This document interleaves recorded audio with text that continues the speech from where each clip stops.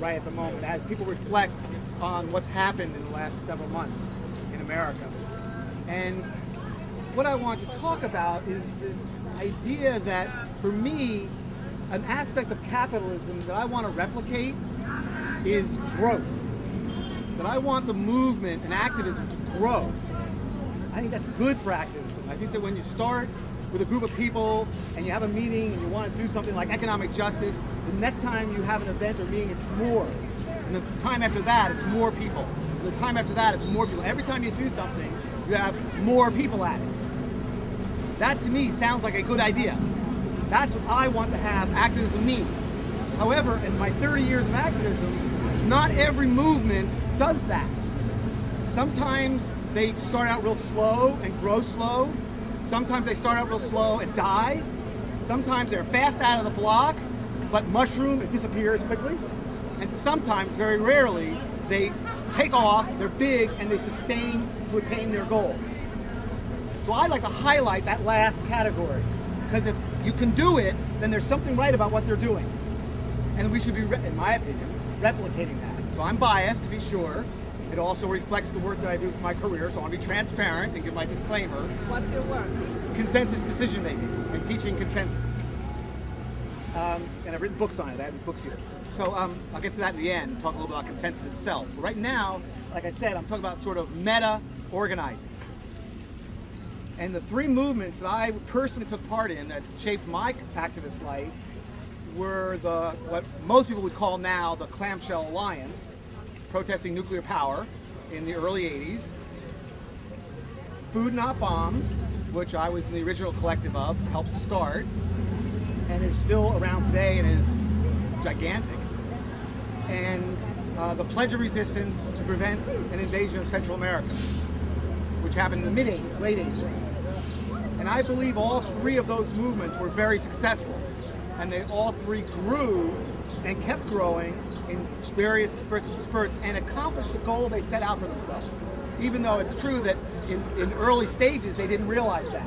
And it's only looking back in history to see that the effect they had on society was significant in outcome as well as in ideology, uh, information. So the Clamshell Alliance, which the part that I'm most familiar with was the very last incarnation of it, was called the Coalition for Direct Action at Seabrook.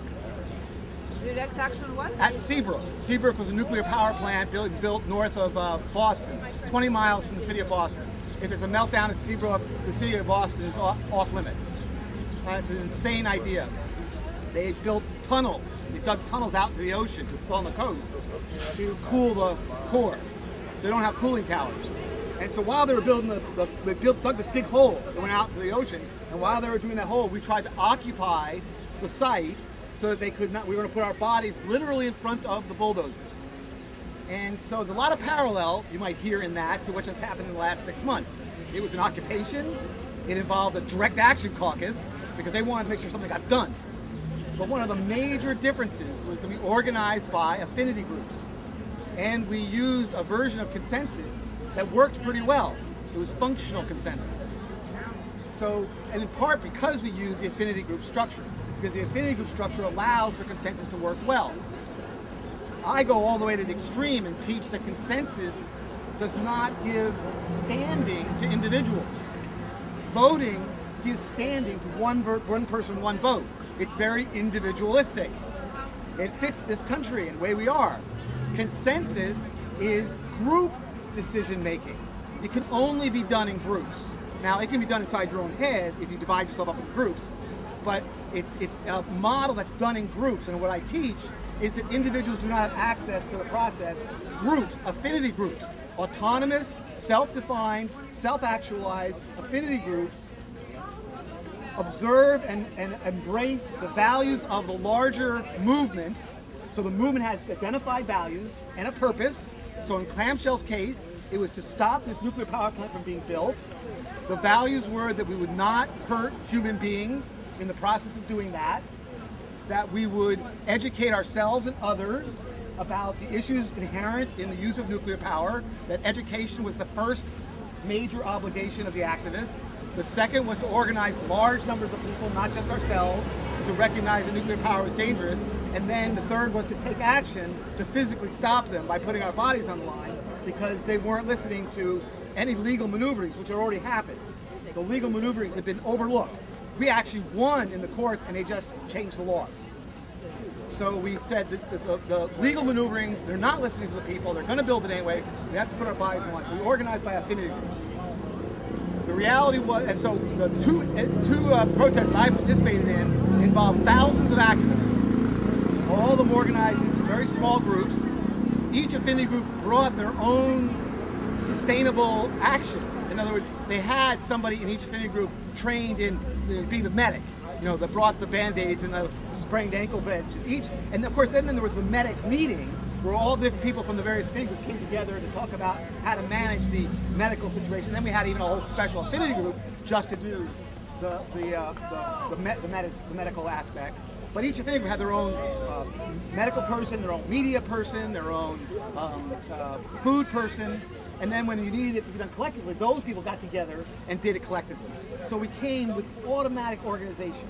And each affinity group planned that on their own in a separate meeting but then came to spokes councils once a week or once a month, later it was once a month, once a week, where the spokespeople would coordinate and plan the actions according to the purpose that was already pre-decided, shutting down the plant, and the values that we don't, they, they were sloppy about the values, but they were there.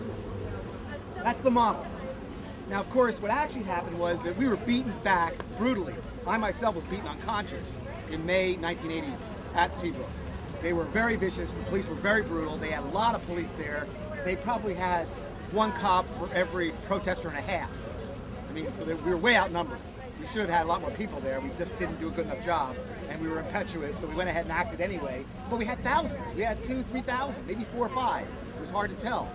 That was a pretty big protest for its era.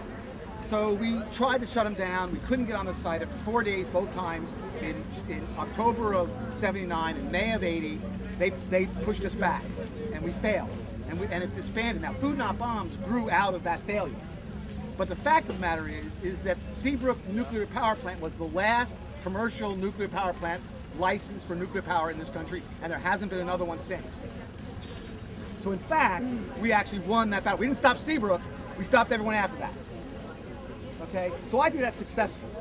Even though at the time we felt like failures and we felt like it was a mistake. But again, we did perfect, if you will, or use this affinity group model, spokes council decision making, and having a common purpose that was clearly articulated and values that, that made our decisions for us collectively. Now, it is true that the nonviolence values split us down the middle, and we did not handle it well. I'll just tell that little story just to be instructive. Okay, there's no doubt that the people who were committed to doing this action embraced Gandhian nonviolence as a whole. That was not the issue. So, of the, the couple of thousand people that were organizing in, in New England, there was no question that they were dedicated to Gandhian nonviolence. His action was not going to perpetrate violence against the police or the workers or anybody else. However, some of us wanted to get on the site by going through the marshes, the backcountry,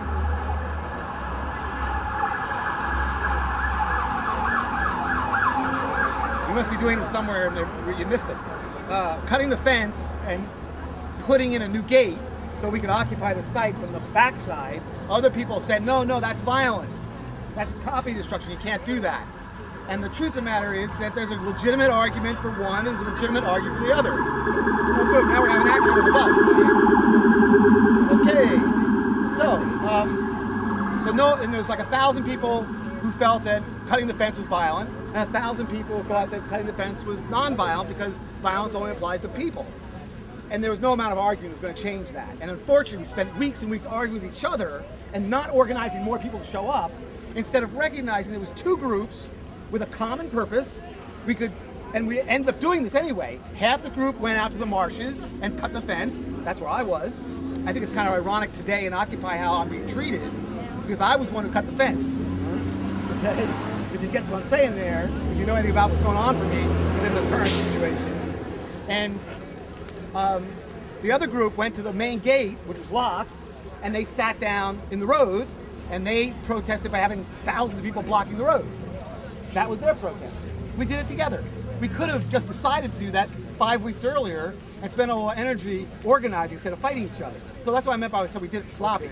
But we were focused on our values. We were talking about nonviolence. We were arguing about what is true nonviolence and whether this action does that or not. That to me is healthy. That's what you want a group to be doing, talking about its values and why it's doing what it's planning to do. Okay? So that's the first model. Second model is Food Not Bombs. Food Not Bombs was a, an affinity group. It was one of these autonomous, self-sustaining affinity groups that came out of this era. Um, the actual story is that one of our ultimate members, Brian, was at May 1980. At May 1980, there was an incident with the state police where one of the police officers got hurt by a grappling hook that somebody threw. And they picked Brian because he had been on national TV and charged him with the crime. And that was really significant because it was a felony charge and Brian had just graduated from law school and you can't practice law if you have a felony. So they were about to take away his law school degree. So we were the people that gathered around him to, to fight his case. We were successful as an affinity group action. We hung together, we defended him, we went to court, we got him off. He was acquitted. And just as an aside again, the, the, the day of court, his mom was there. This is in New Hampshire. His mom lived in New York City. Um, she came up, and we had six guys who all looked exactly the same. The reason why I knew Brian was because everybody thought I was him and he was me. We both looked the same, full, full hippie. And uh, so we had six of us sitting there, and I, the whole thing, acted like I, that was my mom. I knew her. I mean, I, I knew her. So, so, she pretended like I was her son, and I was, and they couldn't pick Brian out of the crowd. They, didn't align, you know, they couldn't say who was the defendant. Cop said, I, I don't know which one it is.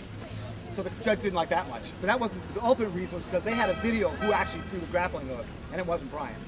But somebody did actually, I actually met the guy years later. We always thought it was a lie. But it turned out somebody really did throw a grappling hook at the cops. It broke the guideline and made us, but, it, but Food Not Bombs came out of it, so maybe it was a good thing. Anyway, so the original Food Not Bombs group um, was an affinity group. And we were fledgling at our use of consensus. But what we understood was that we needed to be able to have people's, what you might call for shorthand, buy-in. Their commitment to why you're doing whatever you're going to do. Especially when you're a group this size. If this group's going to decide to do something, if it's really going to happen, you want everybody in this group, and if you're going to be an ongoing group, to at the very least say, I'm okay with it. At the very least. If they're, if they're resisting, if they're holding back, if they're going to be resentful, then the next decision you make is going to be impacted by that resentment, that holding back. Never mind the current decision. See, it isn't just a single decision, it affects the whole dynamics of the group ongoing. So while we didn't know consensus very well, and I hadn't written my book yet, and I was still just learning it, what we did understand was we had to trust each other very, very deeply. We had to learn to trust each other very, very deeply. It didn't come with the territory. Even though we mostly looked the same, we were all white, we were all young college kids, you know, all pretty well educated, you know, but still, you know, the men and the women, lots of issues going on there. Even, you know, then the lovers and the non-lovers and the homosexuality and the, there's a lot of stuff going on that we were having a hard time trusting. This is a small little affinity group, right? And so we developed this idea I think again, this is very, very important. We had this thing at the very beginning of the Food Not Bombs Collective. We said each bona fide member, once you become a member of the collective, which you live in the house, we were full time doing it, you know, 24 7, 365, and any bona fide member of the group, of the collective, could call group group. It's a group meeting to talk about the group. And when a member calls group group, it has to happen within 48 hours and every member has to be there. And once the meeting starts, we cannot end it until everybody's satisfied. And sometimes group group went on for more than a day. We slept in the living room and then got up in the morning. We had breaks for meals and we breaks for sleeping and pee breaks and all that. But we came back to the meeting and we did nothing else but work on it. And of course, there was issues of asking somebody to leave the group. That was the first and the major reason why it happened. It also happened for security issues. A, a rape happened in our house we had to deal with that. You know, so this is a way that we could show our commitment to each other. And we did. And it was powerful because we had that commitment. So that's an example of the level of kind of bonding that I'm talking about an affinity group can do to be able to do the things